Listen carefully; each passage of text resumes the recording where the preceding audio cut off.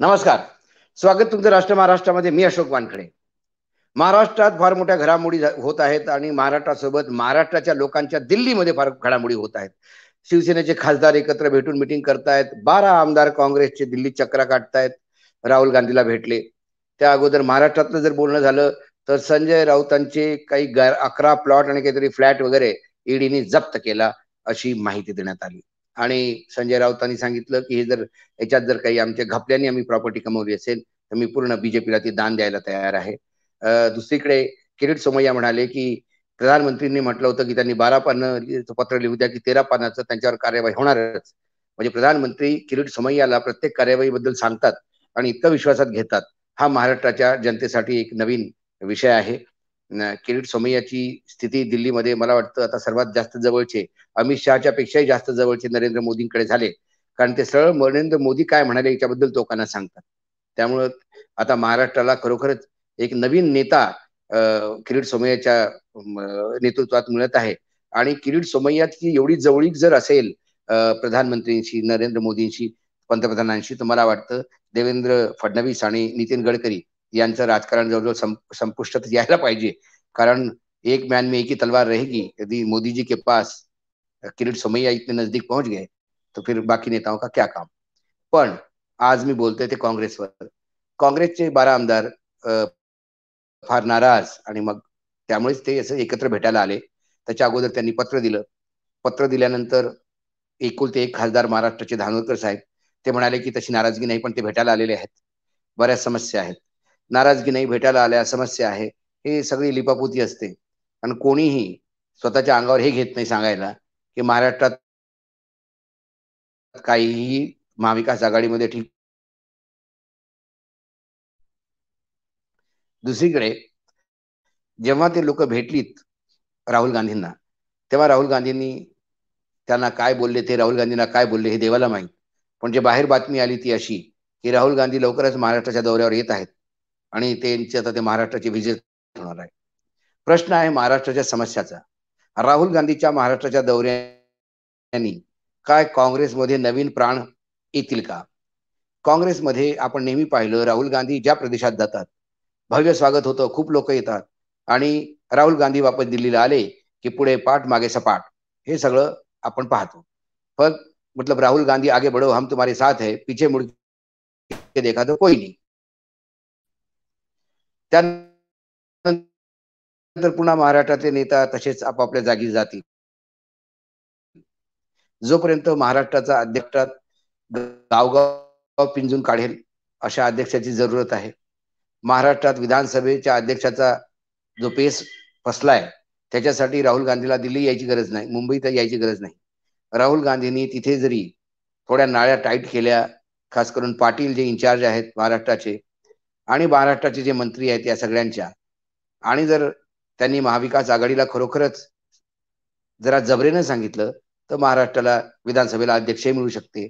नाही तर हा अध्यक्षाचं भंगड म्हणजे ते झुगत भिजत बसलेलं घोंगडं हे असंच आपल्याला प्रत्येक सेशनमध्ये ऐकायला मिळेल. कोणी सुप्रीम कोर्टात जाईल कोणी कुठे जाईल काही काही नवीन पेच येतील. परंतु महाविकास आघाडी जे एकाकडे आमच्याकडे एकशे सत्तर लोक आहे असे म्हणतात ते मतदानासाठी समोर का जात नाही बजेट पास करू शकता बिल पास करू शकता. पण अध्यक्षपदाच्या निवडणुकीसाठी आवाजी मतदान काय या प्रश्नाचं उत्तर कोणी देऊ इच्छित नाही. आणि आवाजी मतदानाने जर देवेंद्र फडणवीस आपलं मुख्यमंत्री पद टिकवू शक निवडून येऊ शकत नाही. याचं उत्तर भाजपाला देऊ शकत नाही. पण या सगळ्या गुंतोगंतीत आपसातल्या भांडणामध्ये महाराष्ट्र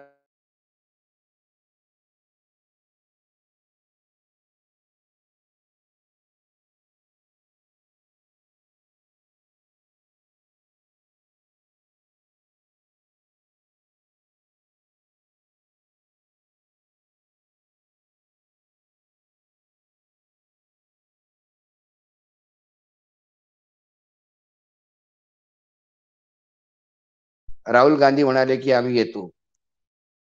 मुंबईत आल्यावर काय करतील आणि काय बोलतील कोणाला काय बोलतील आणि त्यांच्या येण्यामुळे मुंबईत किती फरक पडेल काँग्रेसला काय फरक पडेल काय अध्यक्षपद मिळतील का आणि या बारा आमदारांची नाराजगी राहुल गांधींच्या मात्र येण्यामुळे होईल का पूर्ण होईल का?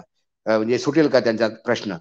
हे फार हे बऱ्याचशा गोष्टी आहेत ज्याबद्दल कोणी सध्या बोलायला तयार नाही. पण मला वाटतं हे जे बारा आमदार आलेत त्यांच्याकडनं त्यांना एक ठोस काँग्रेस अध्यक्षांकडनं किंवा राहुल गांधी किंवा प्रियंका गांधीकडनं ठोस निर्णय होतील अशी अपेक्षा होती. मला वाटतं ती अपेक्षा पूर्ण झालेली दिसत नाही.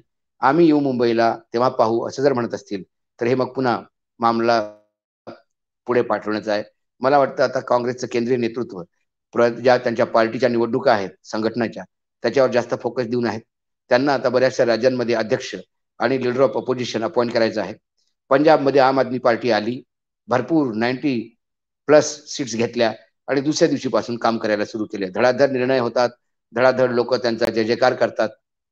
दुसरीकडे काँग्रेस जी बिलकुल सत्याहत्तर वरनं अठरावर आली त्या काँग्रेसला अजूनही लीडर ऑफ दी अपोजिशन निवडण्यासाठी त्रास होतोय. म्हणजे अठरा लोकांमध्ये सुद्धा कोण अध्यक्ष होईल याच्याबद्दल ते अजून एका मतावर पोहोचलेले नाहीत. काँग्रेसचा अध्यक्ष पंजाबमध्ये कोण होईल काहीच सांगता येत नाही. ज्या ठिकाणच्या अध्यक्षांचे राजीनामे झाले तिथे नवीन अध्यक्ष अजूनही निवडून येत नाही. अशी जर काँग्रेसची स्थिती असेल तर ते महाराष्ट्रात या बारा आमदारांना काय त्यांनी प्रॉमिस केलं असेल आणि या बारा आमदारांचं काय होईल काय यांनी खरोखरच राहुल गांधींना येऊन भेटून काही समस्या सांगितल्या तर राहुलनी त्यांना काय सांगितलं?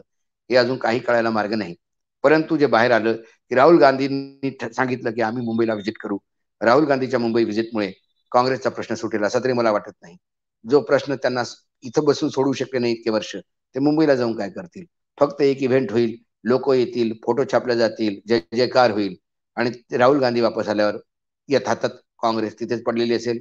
नाना पाटोले काहीतरी ज्याला काही हातपाय नाही अशा गोष्टीची घोषणा करतील वेगवेगळे वक्तव्य देत राहतील.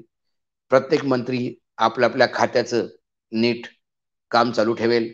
आणि संग्राम थोपटेसारखे जे तरुण युवा धडपडणारे आमदार आहेत ते असे धडपडत राहतील असं मला वाटतं. आज एवढंच. पुन्हा येतो उद्या काही नवीन विषयासोबत. तोपर्यंत नमस्कार पण पाहत राहा. राष्ट्र महाराष्ट्र.